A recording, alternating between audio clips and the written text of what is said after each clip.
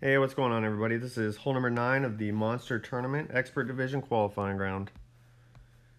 For our tee shot, we want to use an APOC level 4 and above and a Kingmaker ball. We're going to apply 5.8 topspin with 2 right spin.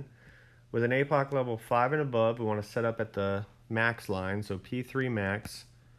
And with our APOC level 8, we're going to have the blue ring touching the right rough. And you'll notice our second bounce is centered directly in the middle of the water. So with an APOC level 4, again, because you can't set up at max rest with your Kingmaker ball, you want to push into overpower such that the second bounce is in the middle of that water. Uh, from here, we're going to adjust P3 max plus 10% elevation with an APOC level 4. Make sure you push up 6 yards after your adjustment. Then it's going to be a max overpower slow needle shot, which we hit perfect. Ball's going to land in the first fairway, bounce over the water into the second fairway, and then we're going to roll out for a drive distance of 399 yards. Make sure you take note of your drive distance as we're going to use this to determine our slider percentage for our approach.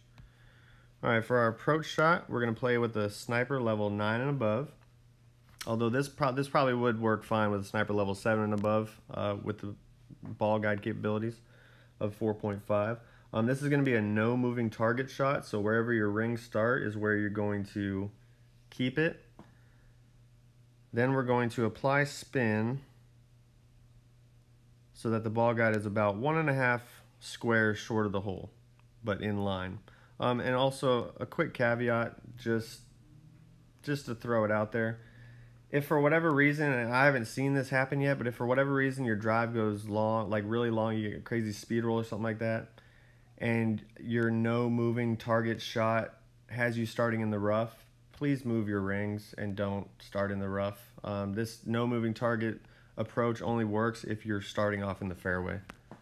Like I said, I haven't seen that happen yet, but it's possible, and I don't want I don't want to be blamed because you flew your ball into the rough.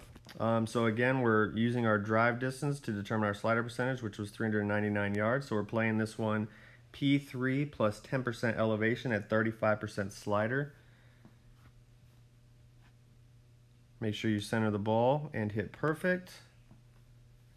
Ball's going to land in the fairway, bounce over just over the kind of edge of the rough, and then we're going to roll out center cut for the albatross to finish off our qualifying round.